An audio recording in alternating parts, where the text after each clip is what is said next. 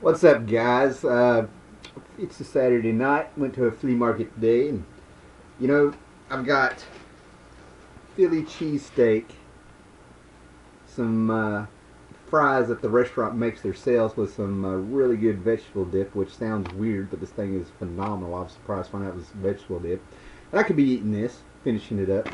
Wonderful Philly cheesesteak. But I decided, hey, let's show up the haul today. And what I got was uh, basically some extras here in the front, but the comics in the back. I got 120 comics for 20 bucks. So uh, for five dollars, the first thing I got was uh, two PlayStation games, uh, Colony Wars, and I talked the guy down. And these games are phenomenal. All right, there is absolutely nothing wrong with them. So I figured I'd grab them. This is a two disc. Never heard of the game. Never played the game, but you know, figure I'd play around. If I don't like it, I'll put it on eBay. Found uh, the, I think it's the original Metal Gear, Gear Solid. I might put this on eBay. Like I said, I got them both for five bucks. Both discs, absolutely phenomenal. Nothing wrong with them. No scratches. And this one comes with the original instruction book. So if anybody knows that this is worth any money, let me know. Next thing I got was a little rock and roll history here. I got this for a quarter. And what was so funny is I didn't want to bust up any change, so one of my friends that was there actually gave me the quarter and bought it for me. This is Neon uh, Angel. This is a memoir of the Runaways by the lead singer Cherie Currie. And for you guys don't know who the Runaways are, they came out in the 70s. They were all underage. Uh, and it was Joan Jett, Lita Ford. Can't believe I'm going forgetting the other names. Uh, Jessica Fox, I think. And I don't remember the drummer's name and stuff. But, uh, you know, I think this came out because they had a movie come out about three years ago about the Runaways. So it'll be interesting to see if this book's any good. And, of course, it comes with rock and roll photos, you know. So there's your cherry bomb, mom and dad.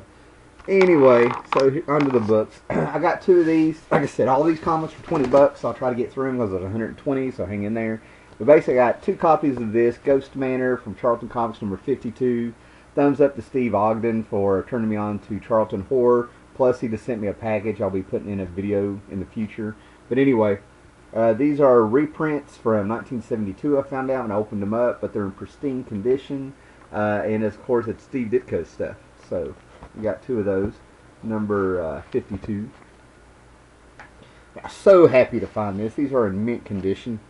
This came out like in the mid 90s, maybe around 96 or so. Now I got to know. This is Moebius Comics. I got the first two issues. Uh, 1996 is when they came out. And he's a French illustrator made famous in heavy metal. He uh, did all the design work, clothes, spaceships, everything for Fifth Element. The guy's a legend, you know.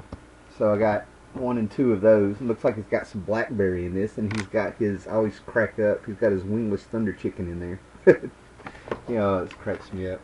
Uh, and a lot of these comics, I've you know, a few of them I've already had, but I feel like I was saving them because this guy had a lot of great comics. But as I was pulling stuff on, there was comics that had stickers on them, and they were water damaged, and I couldn't just leave some of these comics here. So what I got here is League of Extraordinary Gentlemen, Volume Two, Number Six, the last of the series back then. I've already got this, but hey, it's an extra. It was a quarter, and I'm saving it. Uh, you know, Alan Moore, great. So there you go. Uh, he threw this in for free. It's a beat up copy of The Power of Warlock number 14. It's Jim Starlin, Steve Viola. Um, you know, just throw it over there with my trashed up Warlock books. Got this, An Amazing Heroes number 108. I think this is from the mid 80s. This is when the question in the Atom came back, so had to get that. And, you know, a lot of people call me the Howlerpedia on here and stuff.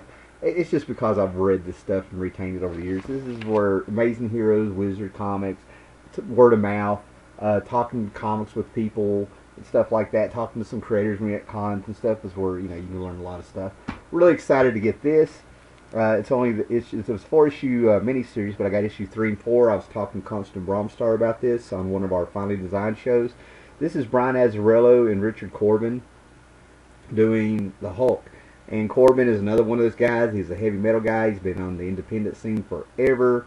Um, just, a, it just it just blew my mind that when Quesada came on, he started pulling all these guys out, and he sticks Corbin on the Hulk, it, which is very cool. Got me a Batman Black and White number three from the '90s. It's a Barry Windsor-Smith cover. This has a Denny O'Neil story. This was uh, an anthology series. It was a mini series that came out. Uh, I want to say there was maybe four of them or six. I can't remember. But uh, everybody did a solo story, and they're all in black and white. You weren't in continuity. Just they did their take on Batman. I was real happy to find this Saint of Killers number one.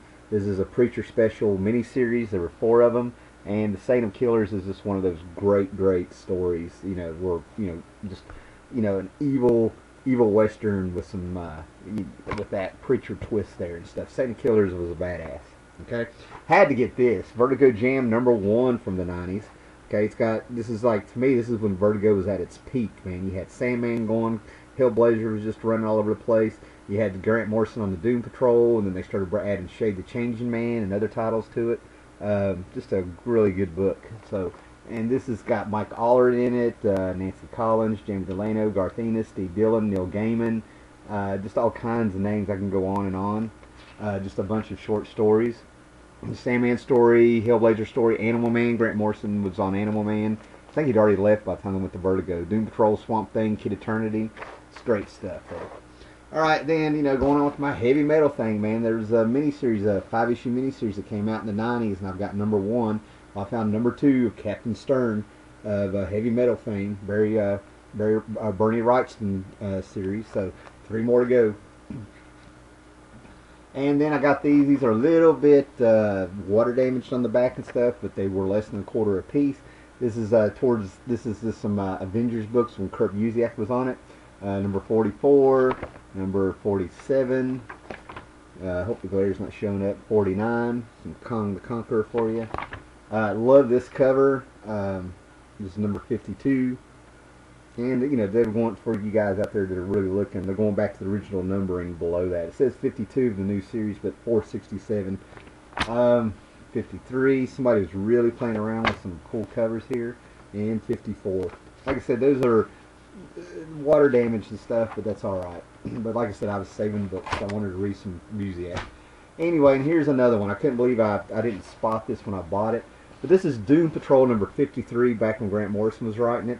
If there is one issue to get, yes, somebody has put a Batman sticker on it. Uh, I didn't catch that until I got ready for this video. But this is sort of a story that Morrison wrote that's kind of like, it takes the Doom Patrol, but it's a tribute to, um, it's a tribute to, uh, like, Marvel of the 60s, Stan Lee and Jack Kirby's Fantastic Four. This is Hellblazer in a costume.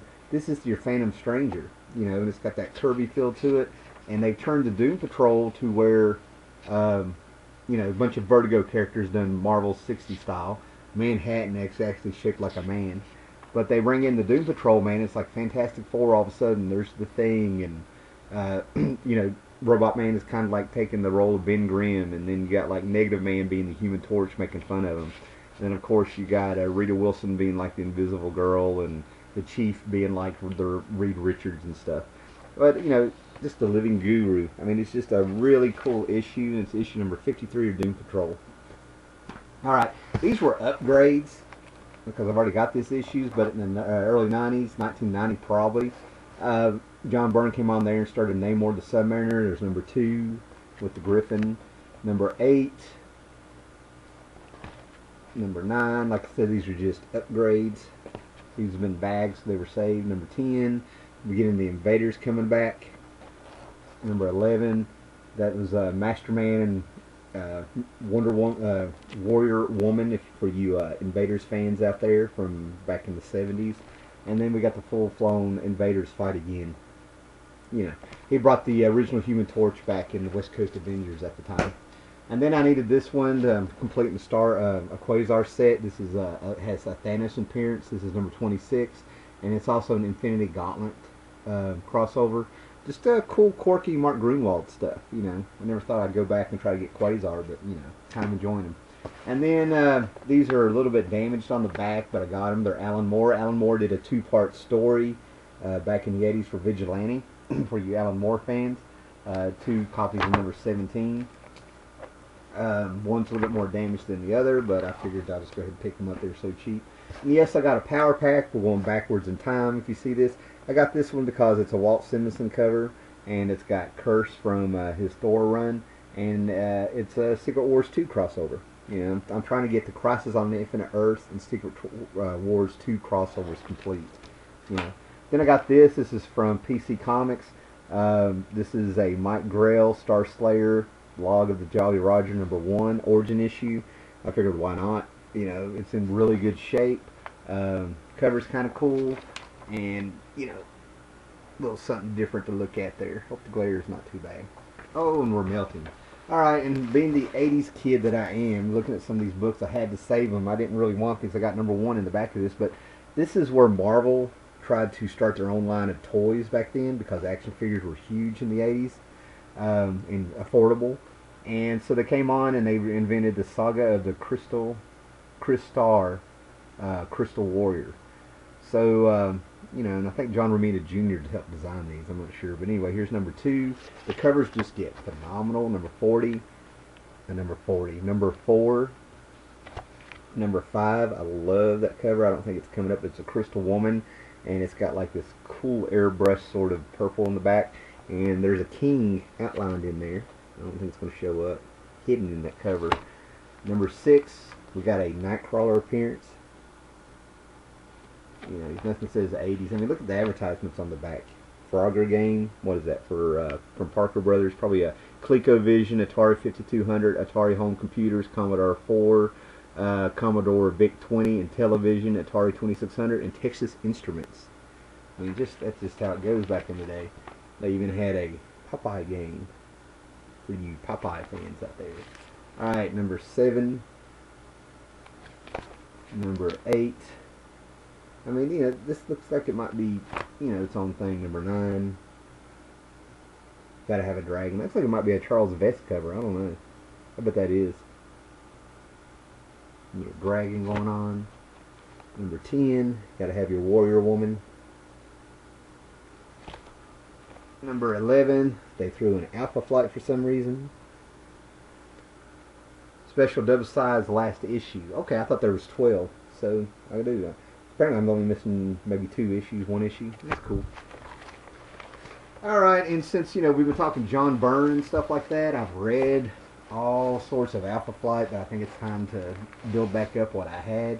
So, like I said, these were so cheap, I said, why not? And they're bagged, they're in great shape. Number 12, number 14, number 15, number 16, gotta love Puck. And I said Puck with a P. Number 18. Number 19, introducing Talisman. Number 20, Gilded the, the Gilded Lily. Alright guys, and I just had to get these. I actually went back to get these. And they had a few more, but some guys already there picking up quite a few. So I probably would have had a full run from 122 up until the last issue of 152, but somebody kind of beat me to it. That's what, you, that's what I get for hesitating. Here is the Defenders, okay? 122, and I had to get this one because it's got Elf with a gun in it. That's just a Steve Gerber character. I hope he wrote this and stuff, and he had very limited appearances. It always cracked me up that he had a character and its name was Elf with a gun. You see? Elf with a gun, staring down the Defenders. That just cracks me up. Uh, 123, just in case uh, it was a two-part story. For some reason, the Vision's there. And that is a beautiful color, color by, I think, Kelly Plunkett. I don't know, I really like that cover for some reason. You know, you got a real non-muscular kind of thin vision there, and then you got like, you know, this is the Dungeons and Dragons age where everybody was role-playing, so there you go. Uh, then we go into the new Defenders, where they brought in uh, the Beast and Angel. Uh, they kept Valkyrie, brought in Moondragon and Iceman, so you had three of the original X-Men in there. Uh, 126, 127, Beware's Assistant Editor Month. And that's another one. I think I'm going to do a video where it's just the big hands. There's the, all kinds of comics where this is one of those comic book cliches where you just have a giant hand grabbing somebody. Okay, 128. That's got to be a sync. Of, that's a Kevin Nowlan cover. Early Kevin Nowlan, man. I love that sketchiness he put into it. Love these covers, if anything. Even if I put them on eBay. Um, number 130. Loved how they got these covers tried to take off in the 80s. 132. 137. I've owned that. I probably still have a beat up issue back there. The Gargoyle. What did I probably said the demon a minute ago? It's Gargoyle. 140. 141. 143. I've read that issue quite a bit. Uh, 146 this is when the cover started. I love that cover again. Yeah. 148. Looks like they go all out action. 149. I think the angel was blind for a little bit. Or he's just trying to look really cool in his shades. Probably a Corey uh, Corey Hart fan. Wears his sunglasses at night. And then there's 151. Seems like they had a character named Cloud, and they brought in a uh, Atlantean warrior. That's her in the back here. Um, I don't know. Maybe I'm thinking wrong, but this but this character here, I cannot remember his name. Manslaughter, maybe. But uh, I thought he was an interesting character. And they also brought in the Interloper or something like that. This real mountain man looking kind of guy wore uh, carried a staff and had a big brown jacket, almost a trench coat on, and a big hat to go with it. And then 152, and you had to get this one because this is a Secret Wars 2 crossover, the last issue of the Defenders, and it built up, it helped build up into X Factor number one in '85 when they brought back Jean Grey. All right, now here's where my mouth drops. And this is why I didn't pick up a bunch of Defenders the first time around.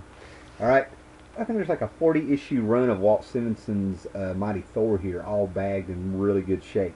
So we start with 339, and I almost want to say this is the first appearance of Beta Ray Bill, uh, the alien who's able to pick up uh, Thor's hammer, and Odin made him own. Yeah, it might be wrong. 39, 339. I hope that glare is not too bad. 340. Pull this up. 341. And Walt Simonson's run on this in the early 80s is considered a classic run. And I've read bits and pieces and a lot of his stuff, but I didn't really read the earlier stuff. 343. Shout out to Curvis Man, our big Thor aficionado on here. 344. Baldar the Brave, taking on a bunch of demons. Alright, 345. First appearance of, uh, going blank on this elf. But I think, uh, I think he pops up in the new Thor movie. So, 346 has got a stain on it. But that's okay. Looks like he's fighting the dogs of war. Weird snouts. Alright, 347. God, what is that elf's name? Dolkov? No, that's complete. somebody completely different. Huh. Maybe starts with an M. 348. Never saw that comic in my life. 349. The Brothers Odin. Looks like it's a tale of Odin in the past, considering that he has two eyes. This is probably where they fought. Um, who did he fight? Surtur? Anyway, I think this is the story where he lost his eye and probably his two brothers. Really glad to see this one, issue 350. These anniversary issues are usually hard to find, even if they are not worth any money.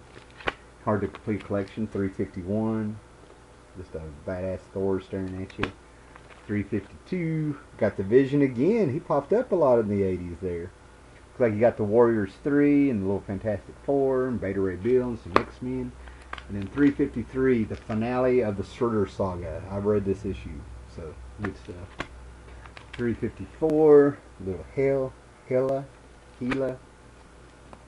355, looks like he's taking on some kind of giant or something. 356, Hercules being a joke, being a jerk. joke, jerk, like there's a difference. 357, man, this is running long. 358, Beta Ray Bill. 359, 360, 361. He's got his goats, probably his belt of strength going on. So Figure he's trying to fight the Midgard Serpent, if I had to guess. Something that big. It's got a chain on it, so maybe it's not. I don't know, it's just a giant wolf. 362, First Blood, Last Man. I'm trying to think, but I think this was one of those issues in the 80s that every kid had because the executioner uh, gets to redeem himself after being a villain all those years. And then the classic, the classic. I love this story, man. I think Loki put a curse on Thor and he gets turned into a frog, and you get into this this whole world of the frogs of Central Park, and they turn around and they uh, having a war going on with the rats. You know, and he becomes Thunder Frog for form. 365. I don't know how that fits in. And then 366, what do you call a six foot six fighting mad frog? Answer inside. Thunder Frog. Alright, 368. I love Thor with the beard. I think he got all scarred up. 369. Oh no, he's fighting his friend Baldur. 371. Peace comes to town. I don't know what the hell this is or who that character is supposed to be. Looks ridiculous, so let's hope it's better. And then we have it. Marvel Fanfare. I did get some numbers, but there's no way I'm passing these up. Marvel Fanfare number 6. Glorious cover on the back. A little Charles Vess, Doctor Strange. Number 7. The Blob, the Hulk, uh, Untouchable. Unus the Untouchable, maybe? Would that be his name? You know, and then a little Daredevil there from 82. Number 8. Looks like somebody else in there. And a great P. Craig Russell back cover. Look at that. Talking about Tarzan, Jungle Boy, or something. Number 11, Black Widow, George Perez, What's Not to Love. More great P. Craig Russell on the back. Uh, part 2, apparently. Number 12, a Marvel Fanfare. Number 16. Great stuff. A little Hitler action there. Number 17. Little Hulk action. Number 22. Doc Ock has Iron Man scared to death. Oh, looks like he's got uh, Sinister Six coming at him or something. Some more villains. Grey, oh, Grey Gargoyle, Electro, and Sandman. Huh. I love these covers, man. Shanna the She-Devil. I don't know who did these covers, man. Looks like Joe Jusko. Can't wait to crack open and find out who did it. Oh, beautiful. What we got on the back? Yeah, it's some kind of free-for-all. 58. Looks like I'm missing an issue or two. Beautiful cover once again. Get the glare off. Good stuff. Great P. Craig Russell. Oh, Sandy Plunkett did this one. Look at that art. Oh. Beautiful. Oh, 59. Love, love, love that cover. Sexy, sexy, sexy. Very nice. Looks like a little homage to Marvel Romance. Yep, nothing like a woman on standing on a phallic symbol ready to, you know, cut the foreskin. Alright, then I found some Micronauts. Number 15, and these are in pristine condition. These are from the late 70s. Mike Golden covers. Um, I know, I know he didn't do the insides. Number 19. Another giant hand cover. I'm just going to go ahead and do it. Go through my collection find a bunch of giant hand covers. Number 20. 21, 22, 23, probably be easier for me to move the camera up, and I don't feel like shaking it, 24, 25, and we're getting close to done. And then we come up here and we found some Marvel Spotlight. These are from 1980 and probably a little bit earlier. Marvel Spotlight on Captain Universe. I grabbed these because it looks like it's Ditko, and it should be. There's Marvel Spotlight number 9, Marvel Spotlight number 10. Captain Universe possessed a uh, woman this time. And number 11, Claws of the Cat. And then I got I found these Marvel premieres from the 70s. That's the Torpedo. Number 39. Number 40 with the Torpedo. I think that's his name. It seems like there's a Lady Torpedo that popped up in New Warriors years later. And then I had to get this Marvel uh, Premiere number 41, Seeker 3000, Dave Cockrum goodness. Alright, hanging in there. Thanks, guys. Did not mean to run that long, but, you know, we all always apologize when we're looking at our books. So there you go. Later, guys.